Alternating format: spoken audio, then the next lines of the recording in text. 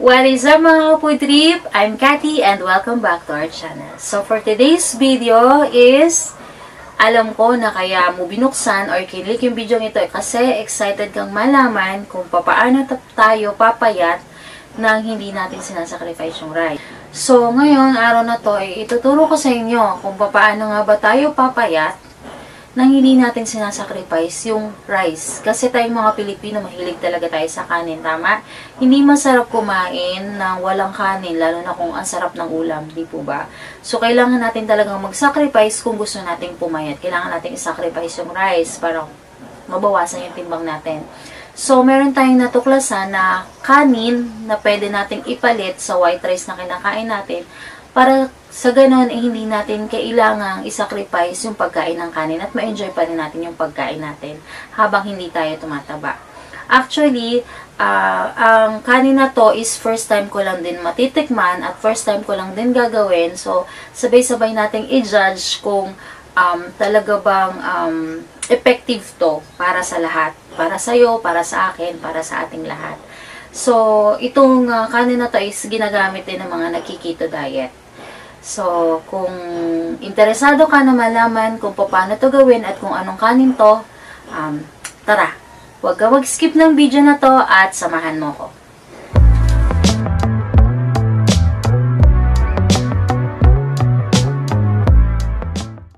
So, simple lang yung mga ingredients na kailangan natin sa paggawa ng ating secret kanin. So, meron lang tayong cauliflower, meron tayong uh, bawang, at meron tayong margarine. So, gawin na natin to!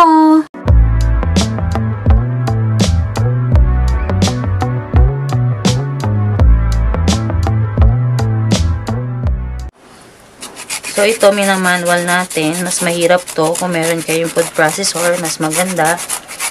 Pero sa akin, ganito na yung gagawin ko kasi mas pino siya.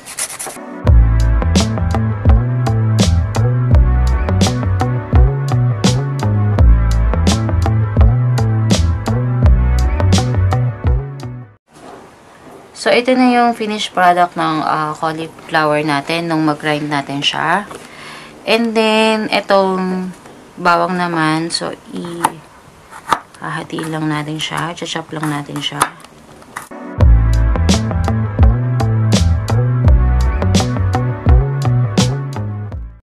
So, lutuin na natin. Lagay na natin yung ating butter.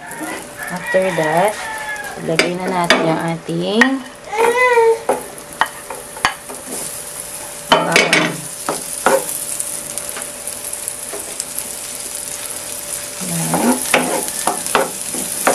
Kapag medyo brown na yung garlic natin, lagyan na natin yung ating cauliflower. Ayan lang. Lagyan lang natin siya.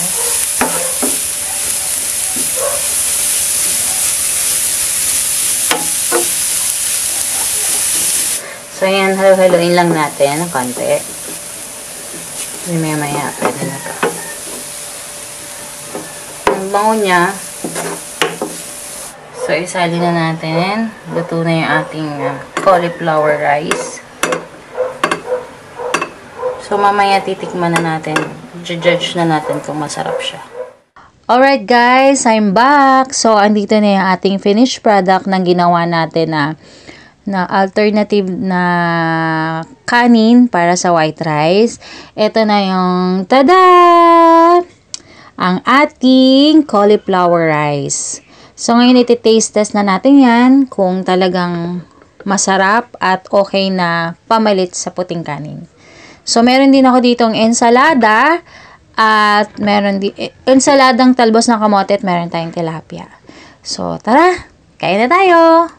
Try natin to kung talagang pwedeng pamalit sa rice.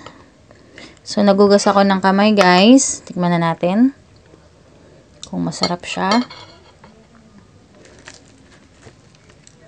Tikman muna natin ng walang ano.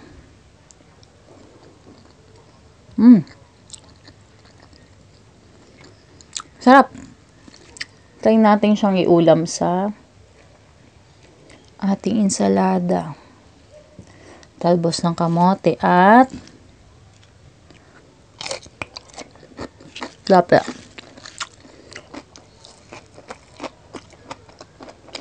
Mmm.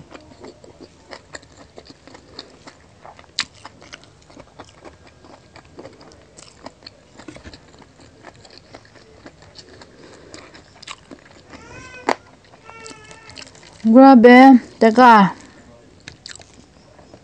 Ang legit nito. Para rin akong kumakain ng rice talaga, guys. Mm.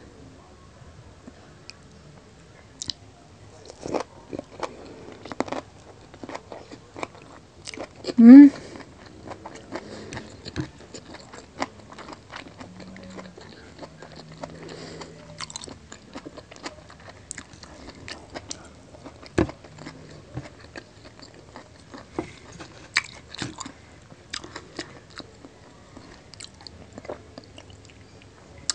Grabe guys, sobrang, sobrang legit nito. Masarap siya para talaga siyang kanin. So bagay siya sa ulam. So hindi nyo mapapansin na hindi talaga kayo makain ng rice na cauliflower pala yung rice nyo. So kung uh, highly recommended ko to. So gagawin ko rin to.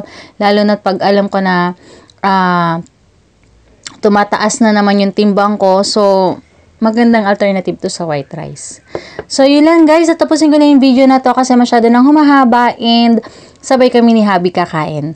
So, yun lang and uh, yun na. Kung paano namin to ginawa, gawin nyo din. Cauliflower rice, alternative sa white rice. Mabisang pampapayat. So, yun lang and uh, see you on our next video. Bye-bye!